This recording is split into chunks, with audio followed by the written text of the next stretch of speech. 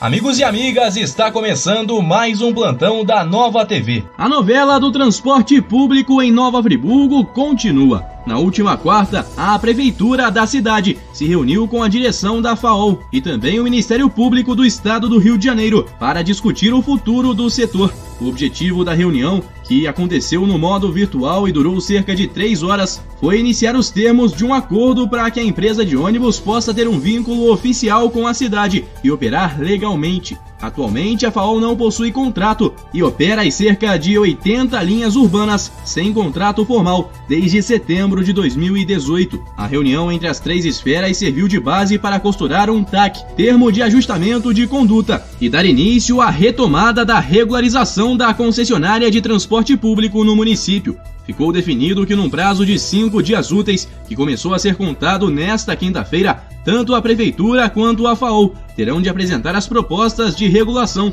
do novo TAC, com o objetivo de que seja elaborado um contrato emergencial para a operação do serviço, inicialmente de seis meses. A direção da FAOL deseja que esse contrato seja assinado dentro do prazo estipulado, mas para tal, quer que a prefeitura cubra os custos operacionais em razão da queda de receita da empresa com a redução do número de passageiros desde o início da pandemia.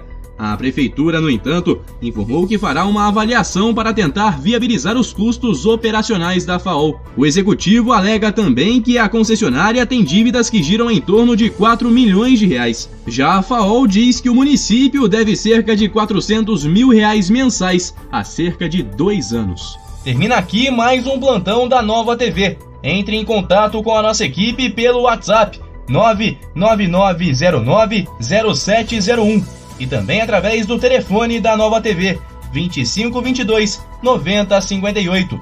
Para mais informações, acesse o nosso site www.novatvfriburgo.com.br.